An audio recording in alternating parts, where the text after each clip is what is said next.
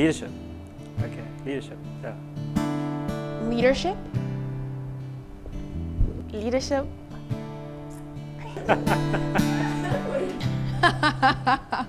um, leadership to me is really just the ability to inspire and the ability to um, to to really just motivate other people to you know change. For me, leadership is about uh, facilitating people.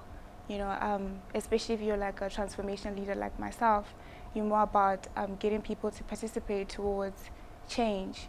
Leadership is about providing an example and bringing people around you that share a common idea, um, bringing them together in one place and moving towards the same goal. The person bringing those people together and, and leading that group is, is, is what defines a leader and actually achieving that goal.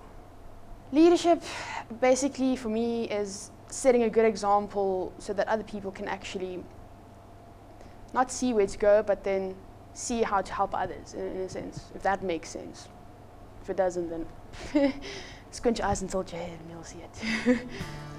Put yourself out there. Um, don't be scared to, to take an opportunity that comes along or even to make your own opportunities, you know. It's basically about giving back, you know, and if you love something, of course you'll excel in it and, you know, be great in it. Go for it. Nothing's stopping you. What's the worst that can happen? Our motto at Rhodes is where leaders learn. So, you know, if you're going to be here, try to make something of your time.